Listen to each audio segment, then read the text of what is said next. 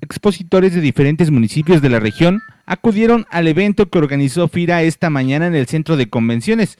Esto como una manera de dar a conocer sus productos y así también poder recibir el apoyo de algún financiamiento, como en el caso de personas que están iniciando con sus proyectos productivos. Somos un grupo de mujeres emprendedoras que hacemos dulces, conservas, mermeladas, este, también carnes ahumadas, quesos, pues todo es lo que hacemos. De aquí de Zacapuazla. Nosotros salimos, estudiamos en el DIF, ahí nos dieron un curso de alimentos y por eso hacemos todos esos productos. ¿Qué tiempo tiene que iniciaron con eso? Iniciamos, no, vamos, apenas vamos a iniciar en el grupo, en el grupo. Nos, o sea, logramos un proyecto productivo y ahorita estamos en él.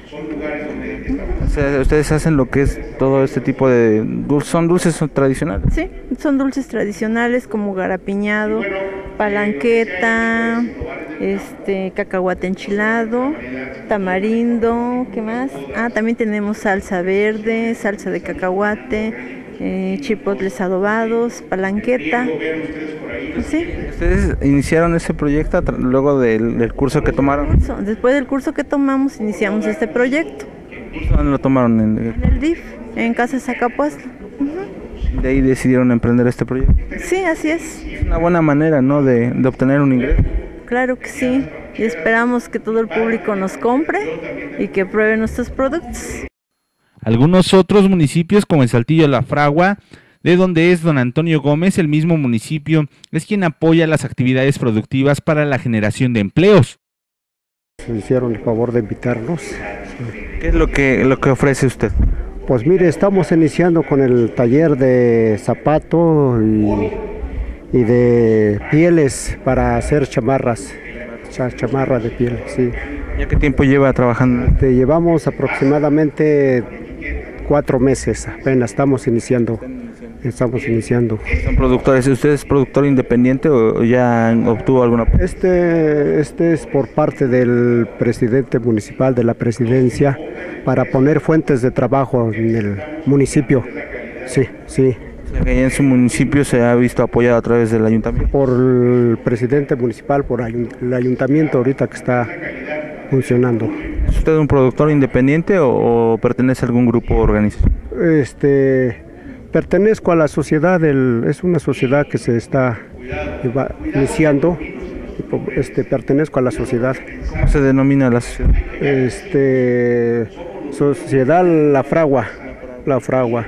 Se dedican a la elaboración de zapatos, artículos. Y de este, la piel para Sí, chamarras de piel. Sí, Asociación Ganadera Local, Local General de Libres Puebla. ¿Qué actividad realizan ustedes? Ganadería de producción de leche. digamos, ustedes ya están constituidos como asociación, ¿ya recibieron el apoyo de FIRA o lo que estamos? Estamos en trámites todavía, con, dos créditos de FIRA, de uno, uno de dos millones y medio y otro de un millón de pesos. ¿Es lo que buscan? ¿Apoyo para qué? ¿Para maquinaria? Maquinaria y adquisición de más vacas. ¿Qué es lo que vienen mostrando a esta expo? Venimos mostrando los productos lácteos que están fabricando precisamente por la derivación de la leche y pieles para los animales que se sacrifican, los animales que se mueren, pues, este, se le da un valor a, la piel. Se aproveche lo mayor posible, ¿no? Lo que es el Así es, para, es el doble sentido para que no se desperdicie el cuero, porque anteriormente se, se, tiraba a la basura y ahora se, procesa y existen los pruebas. Maurilia Hidalgo Diego, productora de vainilla del municipio de Otosco de Guerrero, participó con la elaboración de bisutería a través de la vainilla para dar un valor agregado a sus productos, viendo esta actividad como una alternativa ante la falta de empleo. Bueno, pues le estamos dando el valor agregado, este como ve, pues estamos haciendo este lo que es bisutería, aretes, collares, también estamos haciendo lo que es el, el extracto el pulverizado. Este, en este momento no traje, no traje, no, o sea, no trajimos este licor de vainilla porque este está en proceso. ¿Esta semilla que vemos es la semilla de la vainilla?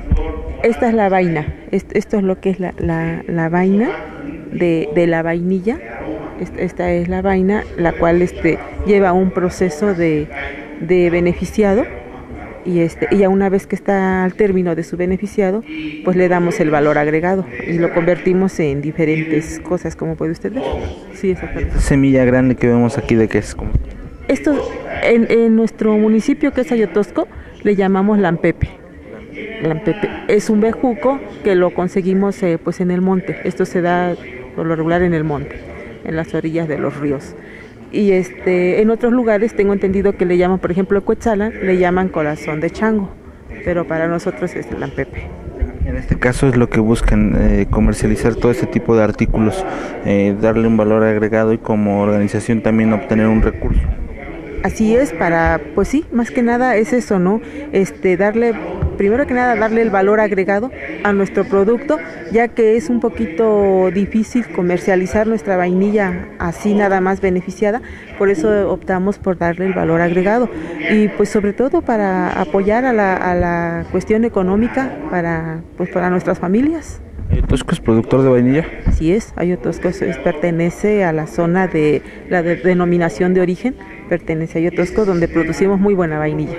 Así es. En ese sentido, es una alternativa que, escogieron ustedes, sabemos actualmente con la situación económica, también la escasez de empleo. Así más que nada, eso es la escasez de empleo y este y pues como le decía, no, nos enorgullece poder formar, ser parte de, de que somos, como le diré, al hacer nuestros productos, bueno, generar pues más que nada empleo dentro de la misma dentro de la misma familia y este y pues generar los ingresos porque somos un grupo. Para SBS Noticias, José Rosas.